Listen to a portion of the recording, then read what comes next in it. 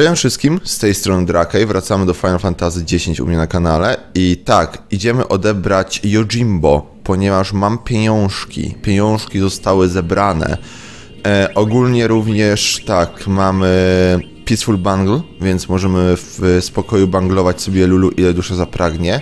Naprawdę to po prostu wydropiłem to z tego ducha, którego zapaliśmy ostatnio, przez co teraz nie mamy walk, póki mam to zaekwipowane co przyspiesza grę jakby tak o milion razy, patrząc po tym, że wchodzimy do stref najczęstszych walk w calutkiej grze dosłownie. A także ogólnie też wiem, że nie pokazuję wam rozwoju postaci, bo szanuję wasz czas, ale tak, tutaj mamy mały ewenement u Juny, w sensie jesteś na takim śmiesznym rozstaju, gdzie Juna może przejść na drzewko Riku i ogólnie nie wejdziemy w nie zbyt głęboko, ale zgarnę jako Juna Use i Steel bo po prostu to są rzeczy, które warto mieć. Potem wrócimy sobie do białej magii, bo to, to, jest, wiecie, dobre miejsce dla Juny. e, tak, ogólnie również pójdziemy teraz zgarnąć Yojimbo e, i potem pokażę wam rzecz, ponieważ jesteśmy w stanie odpalić teraz walkę z Dark Yojimbo w tej jaskini. E, trafiłem na nią przypadkiem, kiedy sprawdzałem, czy wszystko śmiga. Ale to za chwilę.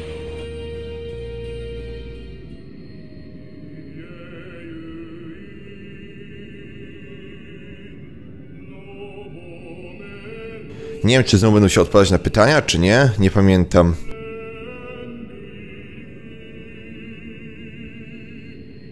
Fascynuje mnie, jak ten cały złodziej ogarnął ten cały myk, nie? 2500, aby stać mnie od razu, wiecie co? Nie będę się zniżał do targowania, nie jestem jakby jakby cyganem, który chce coś ukraść, tak więc y, po prostu zapłacę mu tyle, ile żąda, potraktuję go z szacunkiem.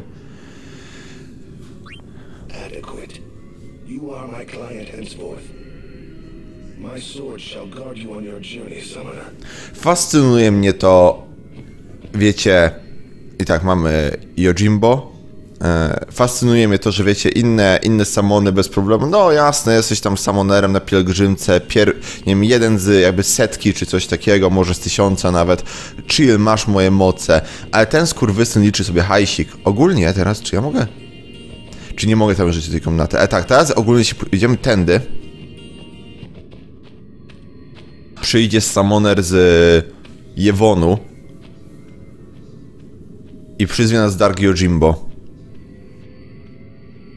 Komentarz od ojca Żuka triggeruje super bossów, triggeruje Dark Samony. Teraz e, mroczni samonerzy zostaje wysłani, by zabić naszą ekipę i wyciągamy ciężkie działa. I tak, generalnie Dark Samony to dosłownie reklory zwykłych samonów z tak dopierdolonymi statami, że nie mamy co ich nawet ruszać. I tak, Yojimbo mogę wam pokazać właśnie, wiecie, e, mogę wam pokazać jak on wygląda, bo można przed nim uciec po prostu. E, zero przeciwwskazań. E, ogólnie Yojimbo jest super specyficzny, jeśli chodzi o Dark Samony, ponieważ trzeba z nim walczyć 5 razy. Myk polega na tym, że wiecie, tutaj gdzie aby ten gościu stoi, walczycie z nim raz, Potem e, w kolejnym miejscu w jaskini walczycie z nim drugi raz, trzeci, czwarty i piąty przy samym wyjściu i dopiero wtedy liczycie jako pokonany. Jeśli w międzyczasie wyjdziecie z jaskini, to te walki się resetują i tak dalej. Więc to dosyć specyficzne. Coś podobnego ma Ixion, ale u niego to też działa trochę inaczej.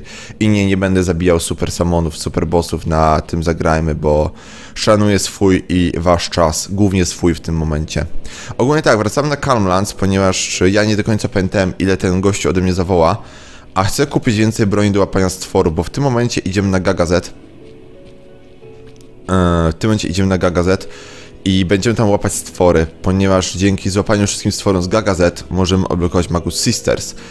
Eee, to też ma swój mroczny twist, ale o tym wam powiem później.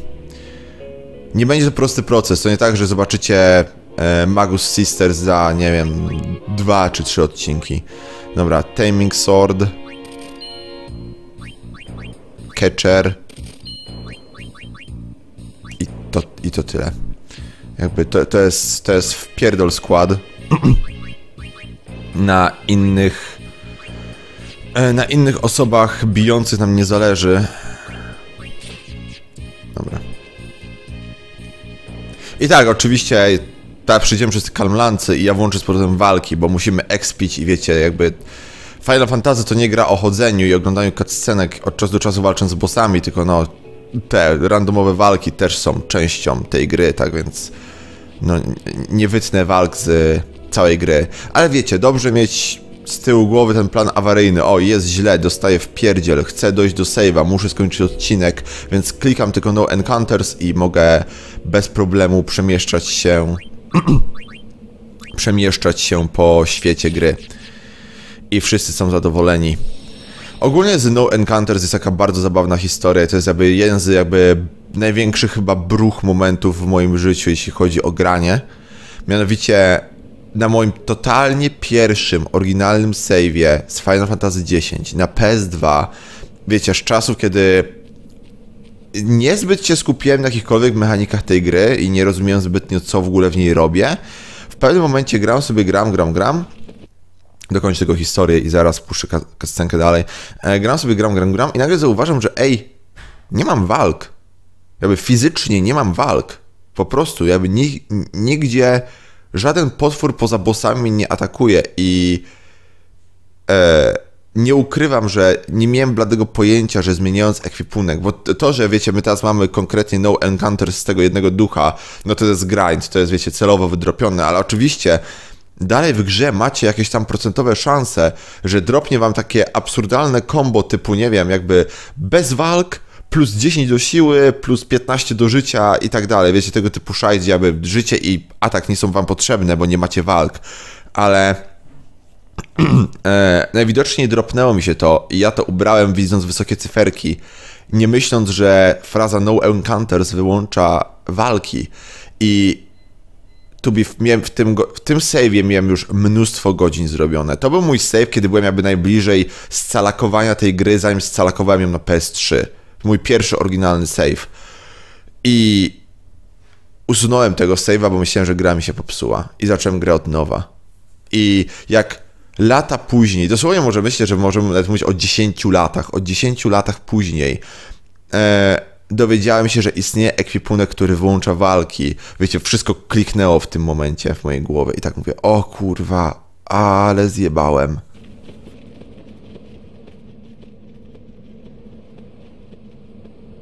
Rzućcie z tego mostu. Zrób nam przysługę. Do it.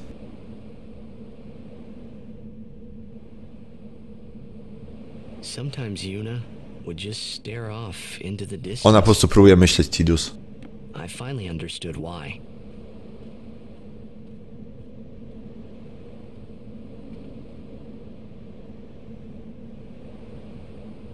She was saying goodbye to the places she'd never see again.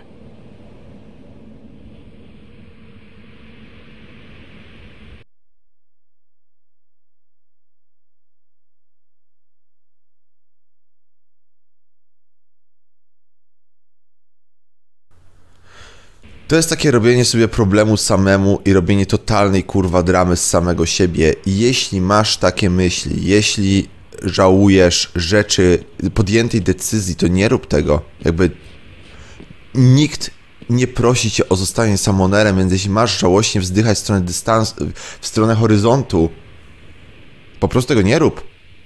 I tyle. Jakby nie, nie, nie bądź samonerem, ciesz się życiem, jakby w tym świecie jest dość samonerów, że ktokolwiek podłapie za ciebie to, e, to, to brzemię. Ty możesz cieszyć się życiem.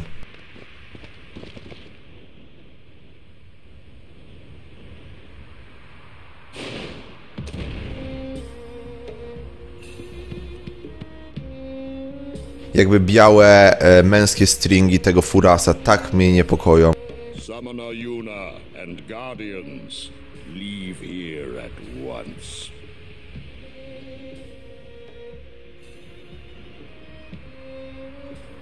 Gagazet is Ronso land, sacred mountain of Yevon. The mountain will not bear the footsteps of infidels. Enemy of Yevon is enemy of Ronso. Leave, traitors! I have cast aside Yevon. I... I follow the temple no more. Then you will die by those words. so be it. Yevon has warped the teachings and betrayed us all. Nothing but a bunch of low-down tricksters, eh? Yeah, yeah! Yeah, yeah! Tidus, Riku i Waka robią za tłum z pochodniami w tym momencie.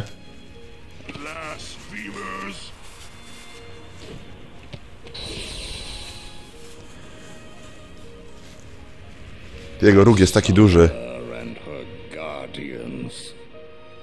Lord Kelgronso, if I may. Have you not also turned your back on Bevel?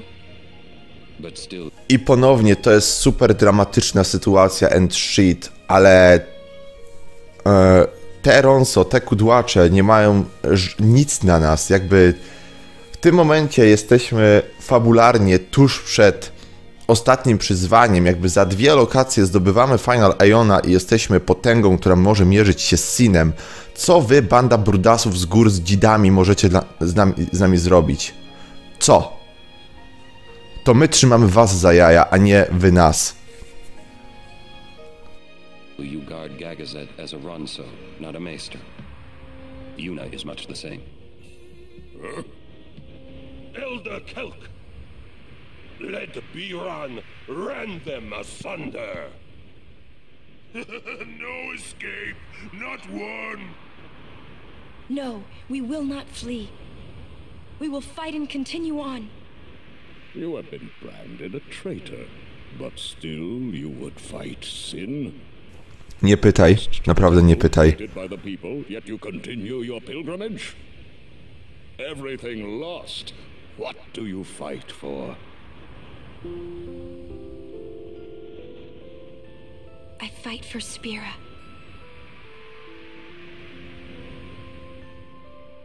The people long for the calm. I can give it to them. It's all I can give. I ponownie to by był bardzo mocny moment postaci. Ponownie super mocny moment postaci. W końcu Juna ogarnęła siebie, swoją motywację, zrozumiała, gdzie jest jej miejsce na świecie and shit, ale w dalszym ciągu my nie wiemy nic. Jak powstrzymać Sina na stałe, czyli Juna poświęca swoje życie, które może trwać długo, tylko po to, żeby dać ludziom jakby co parę lat odpoczynku? To, to nie jest mocne.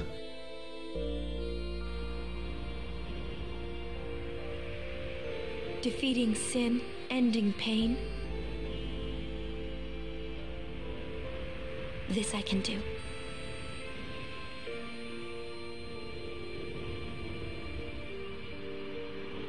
Jakby naprawdę fabuła tej gry jest całkiem bez sensu przez ten jeden fakt, że Sin wraca. To, to zabija jakikolwiek, jakąkolwiek wagę tych postaci, tej fabuły i tak dalej. Na zasadzie wiecie, my mamy tą super głęboką, spirytualną podróż z wagą na ramionach Juny i paczki i tak dalej. Mamy to wszystko, ale za góra 10 lat, bo może to być nawet mniej, wiecie, ja tak rzucam te 10 lat, ale być może Sin odradza się krócej, nie wiemy. E, ale tak, za parę lat te wszystkie poświęcenia, te wszystkie słowa nie będą miały żadnego znaczenia. Świat znowu będzie terroryzowany przez Sina i znowu mnóstwo samonerów będzie musiało przejść przez te same gówno. Więc naprawdę ten świat zabija sens tej podróży. To, jak ten świat został zapisany i jak działa mechanizm Sina, to zabija sens naszej podróży. To zabija sens rozwoju tych postaci. Ronzo, let them pass. Summoner Yuna, your will is stronger than steel. Tempered steel that even the mightiest Ronso could not hope to bend.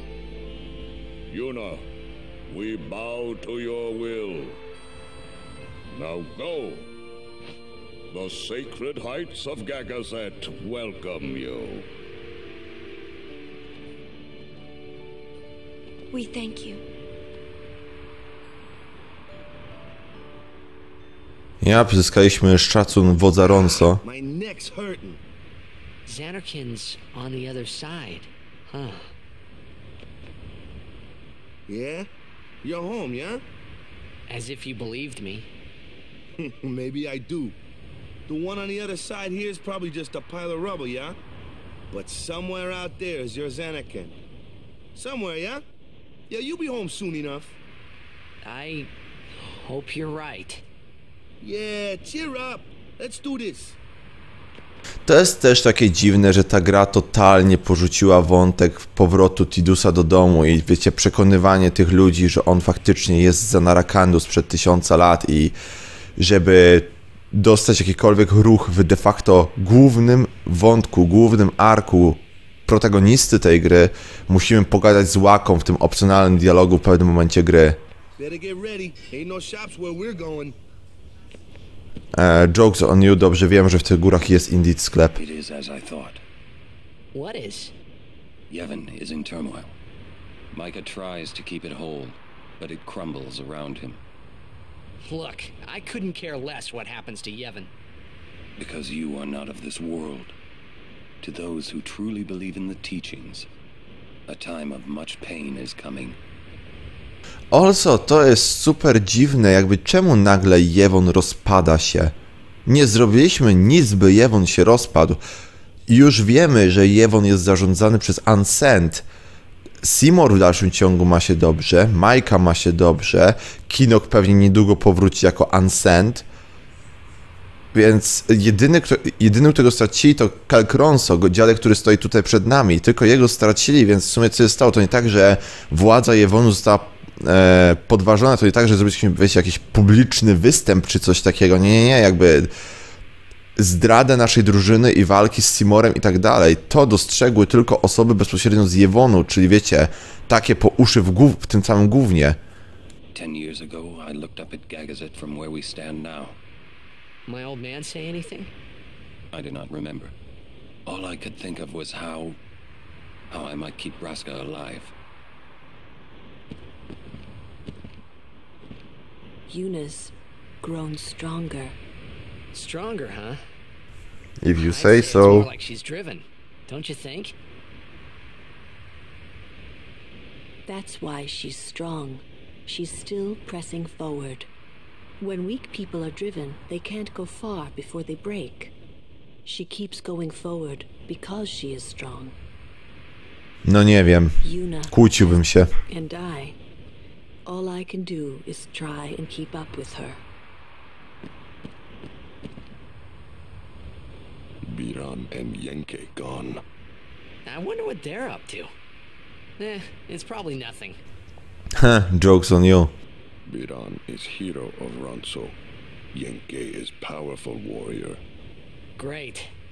I hope we don't have to fight them. Kimari must fight. Kimari must win. Ten wątek też mnie tak kurwa, bo to jest takie dziwne, że mamy tych ronco, którzy są jakby super, wiecie, duchowi i wychillowani, a jednak dwójka drechów podróżuje po całej spirze i jakby nęka ludzi i nęka Kimariego z jakiegoś powodu. Tak totalnie bez, bez żadnego wyjaśnienia, po prostu robią to for lols i nikt nie ma z tym żadnego problemu. No Jakby wiecie, ten dziadek pocisnął tutaj całą przemowę, że jak, jak wiecie, są zasadniczy i tradycjonalistami i jak muszą szanować siebie i innych, a tutaj o, no, no ta, ta, ta dwójka tak, no nękają podróżników, biją ich, porywają, jasne.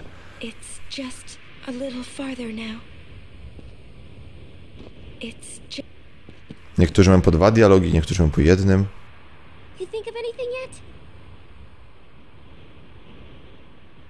Lubię to, że tylko z tej drużyny Riku faktycznie myśli, wiecie, próbuje się zastanowić, jakby, o, mamy uratować Junę, ponieważ ona jest za głupia, żeby uratować sama siebie.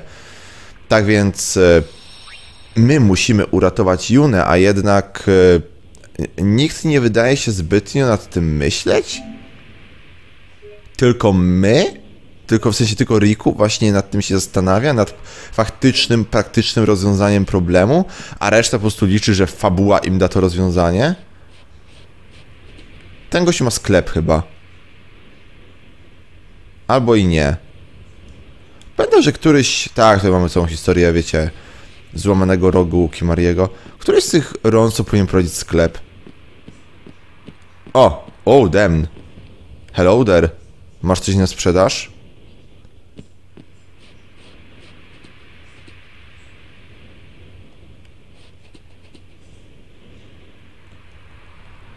O tak, czyli ten gość ma sklep. Nie, żebym chciał coś kupować czy coś. A, wiecie co? Dobra. Dobra, ja obczaję jakby jedną rzecz u niego.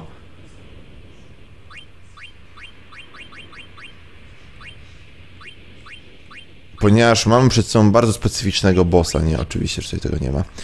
E, mamy przed sobą bardzo specyficznego bossa i bardzo by mi zależało na tym, byśmy posiadali byśmy posiadali pancerz z obroną przed zombie.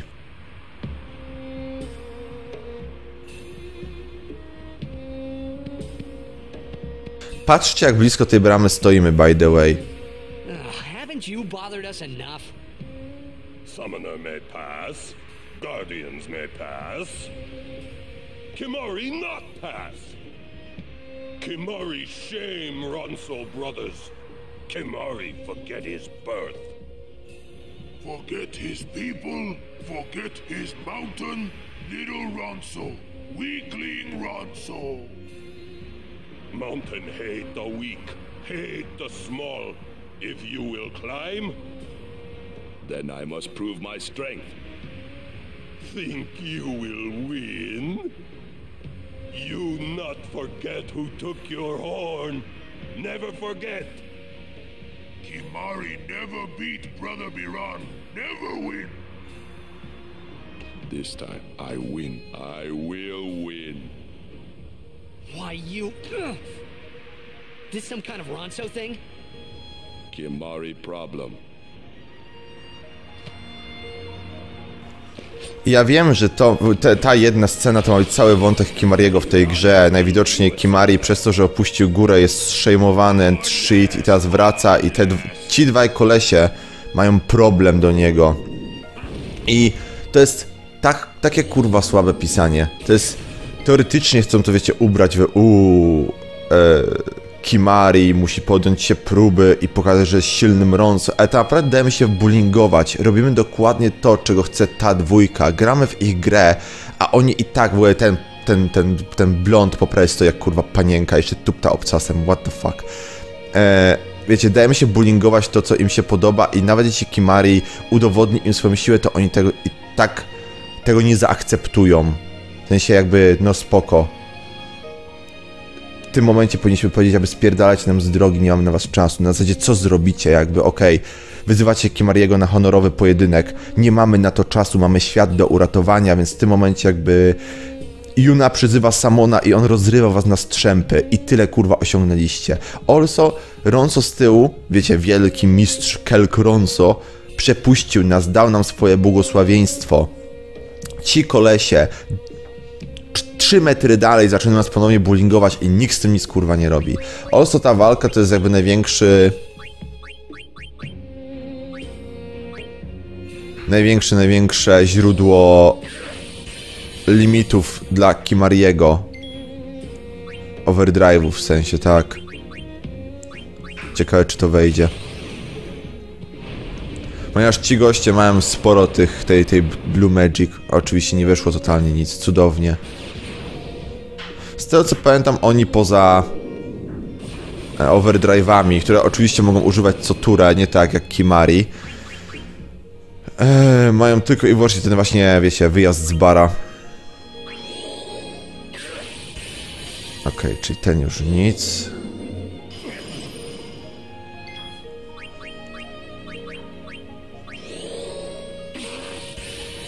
O wow, czyżbym naprawdę miał wszystko? Ogólnie myk polega na tym, że musimy ich atakować, kiedy...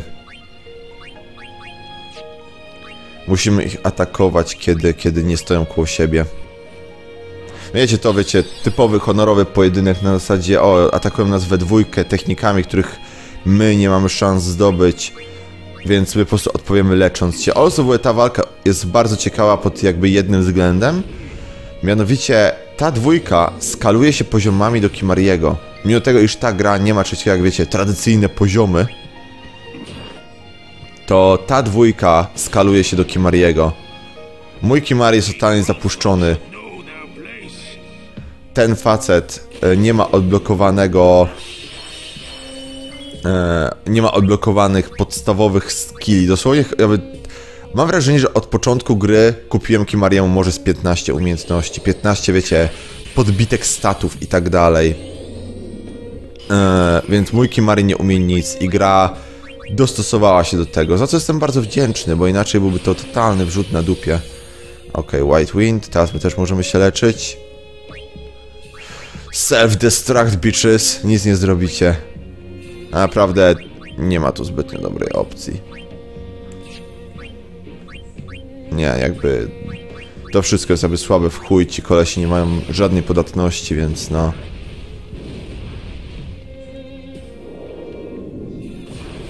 Bardzo lubię ziomalską ją pozę, którą przyjmuje ziomeczek po lewej przed użyciem swojego limitu. To bardzo dobra, silna anime poza. Lubię takie. Wiem, że któryś z nich umie narzucić jeszcze e, Big Guard i to też możemy z nich wyssać. I wiecie, jakby ten Kimari jest tak okładany, drużyna sobie na to tak patrzy, ogólnie wyjebane, nikogo to zbytnio... Co robi Jinx? Lowers luck. Nie mam pojęcia, co robi statystyka luck w tej grze, tak więc no... Oni w ogóle będą się blokować, tak więc ja w tym momencie uleczę się ponownie dla świętego spokoju i potem też zblokuję. Zaatakuję ich dopiero w momencie, kiedy jeden będzie po, po jednej stronie, a drugi po drugiej. Na przykład teraz. Wow, Kimari ładnie trzaska krytyki, kto by podejrzewał.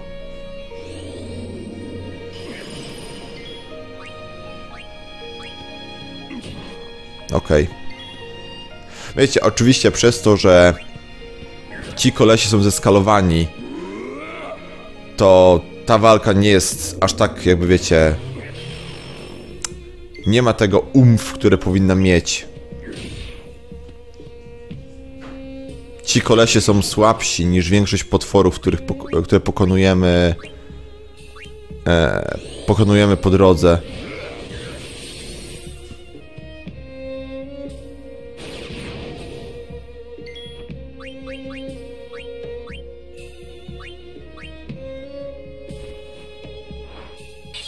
honorowy pojedynek Beach. Mam tyle potek, że honoru tutaj ani kropli.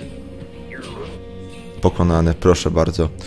Szkoda, że żaden z nich właśnie nie użył Big Guard.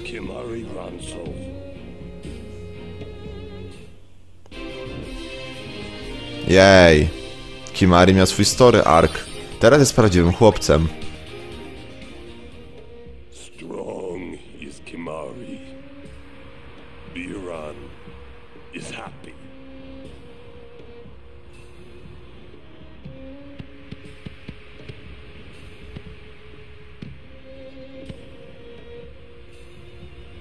Sacred Mount Gagazet. I honor the name of strong warrior who defeats Biran. To jest bardzo niezasłużone.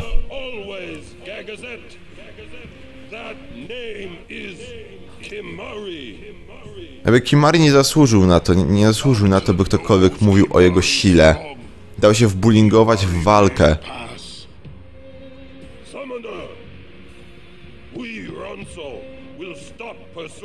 From Temple. Truly? Penance for breaking Kimari's horn long ago. We crush enemies following behind. Kimari crush enemies standing before. You are most fortunate, Summoner. I thank you. Ronso will shine your statue brightest. Thank you. But I fear that no one will make a statue for a traitor such as I am. Then Ronso will make. With Grand Horn on head. Ta linijka może być nawiązaniem do Final Fantasy IX, ale nie musi. That would be wonderful.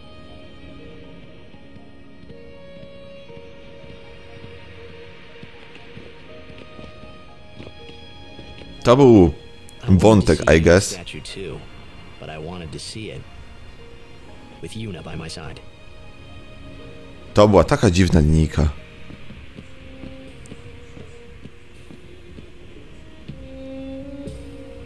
Jakby dosłownie byliśmy jeszcze w tej samej lokacji, to całe plemię dało nam tym dwóm, dało tym dwóm drechom na, nas zaatakować, jakby on. Czemu pozwalamy sobie robić tego typu rzeczy? Czemu po tym, jak nasza własna kultura i religia nas zdradziła, szanujemy jakąkolwiek kulturę i religię w ogóle? Chciałem zapisać i zakończyć odcinek, ale przypomniałem sobie o tej scence.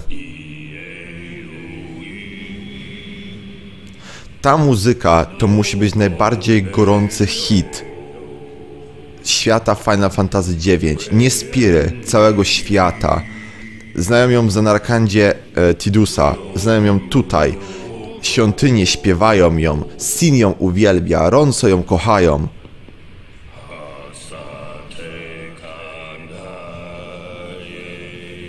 To musi być taki odpowiednik Last Christmas na święta. Każdy to zna. Niezależnie od wieku i pochodzenia.